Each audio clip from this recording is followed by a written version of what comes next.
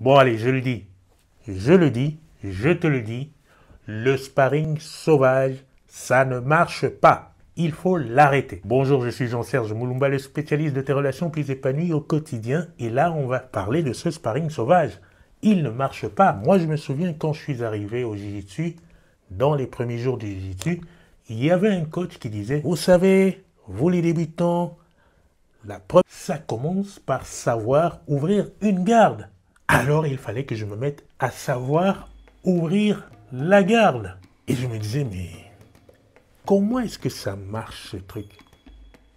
Comment est-ce qu'il faut que je me retrouve dans cette situation? Laquelle situation serait opportune pour que j'ouvre cette garde? Et bien entendu, je ne comprenais rien à tout ça.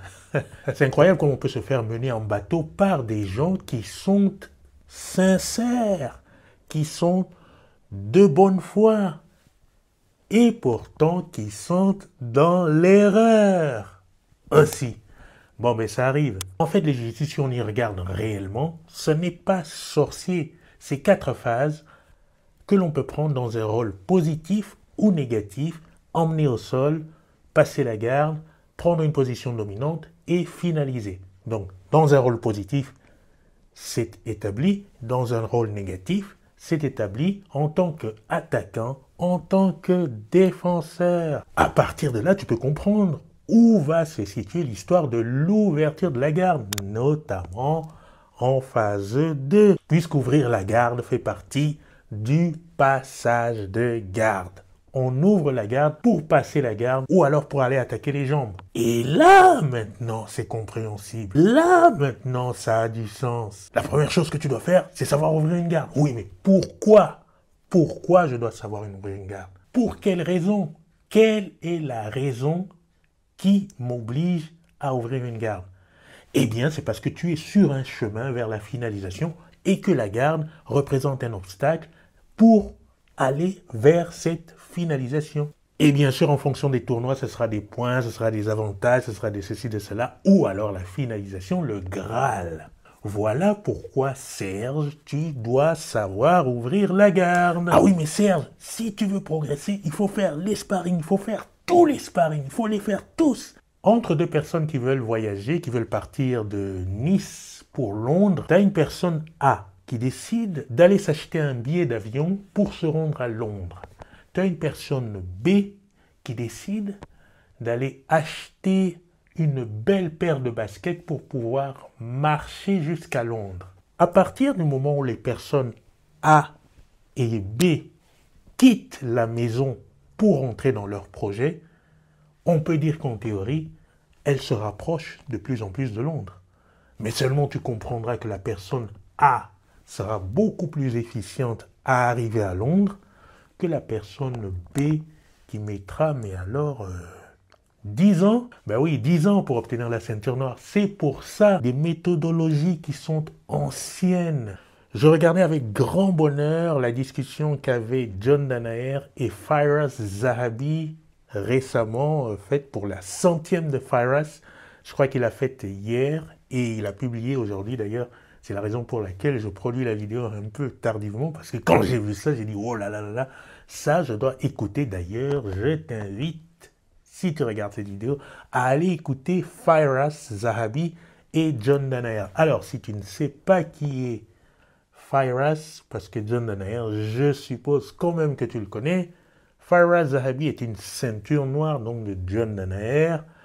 John Danaher et Firas Zahabi partagent l'histoire d'avoir été euh, ensemble chez Renzo Gracie, eh bien, si tu écoutes le podcast, tu auras beaucoup, beaucoup d'informations à ce niveau et tu vas voir, c'est très, très instructif. Ce que j'appelle moi le sparring sauvage, c'est l'histoire d'aller à Londres avec de jolis baskets et à pied. Bien entendu, tu progresses. Mais imagine-toi, combien de temps tu seras à Londres?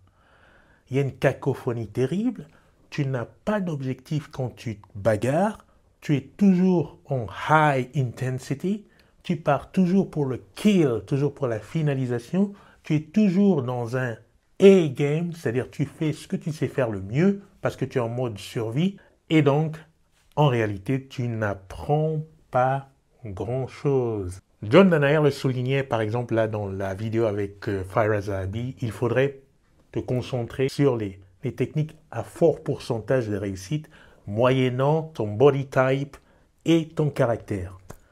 À partir de là, il dit lui hein, qu'il n'a jamais imposé des techniques à qui que ce soit, à part vraiment les fondamentaux, fondamentaux, fondamentaux, toutes les techniques sont montrées et présentées et à chacun de faire le choix par rapport à son caractère et à son body type. Sachant que tu dois savoir emmener au sol, sachant que tu dois passer la garde, sachant que tu dois prendre des positions dominantes, sachant que tu dois finaliser, sachant que les headlocks, c'est très high un pourcentage, sachant que ça demande énormément de temps pour pouvoir les assimiler, tu vois qu'il va falloir te concentrer, focaliser sur un apprentissage délibéré un apprentissage avec la résistance progressive, un apprentissage qui incorpore du sparring positionnel, un apprentissage qui incorpore du situational sparring pour travailler des micro-détails, des choses qui sont très très importantes dans la perspective de ton jeu dans l'étoffe de ton jeu. Et c'est en faisant cela qu'en réalité tu es en train d'acheter ton ticket pour aller à Londres. Et aujourd'hui, c'est 3 ans, 4 ans, 5 ans de travail, d'entraînement méthodique, situationnel, d'entraînement délibéré, d'entraînement focalisé. C'est tout cela qui te permettra de progresser en fonction de tes objectifs perso. Le seul moment où tu peux alors t'autoriser à aller dans des sparring sauvages, c'est quand tu te mets à préparer des compétitions parce que là, tu es en phase de test de ce que représente ton jeu. Mais à part ça, le gros du temps, c'est la construction de ce jeu. Le gros du temps. Il y a tellement de choses à améliorer que si tu passes ton temps à faire du sparring sauvage, eh bien tu perds aussi énormément de temps. Alors je le redis, la personne qui achète les baskets pour aller à Londres et la personne qui achète son ticket d'avion pour aller à Londres en quittant leur maison, se rapprochent déjà de Londres. Maintenant, je te laisse choisir l'option qui te parle le plus. Alors si cette vidéo t'a plu, pense à la partager, à la diffuser, ça fait du bien à la chaîne, ça me permet de construire encore plus mon message pour tout le monde. Et puis ça peut aider des gens qui ont besoin de prendre des décisions pour leurs entraînements. Ça peut les aider, ça peut favoriser, stimuler la réflexion. Et moi, je te dis à la prochaine vidéo. Salut, c'est Jean-Serge Moumba, le spécialiste de tes relations physiques au quotidien. Voilà, c'est la chaîne JSM Instant.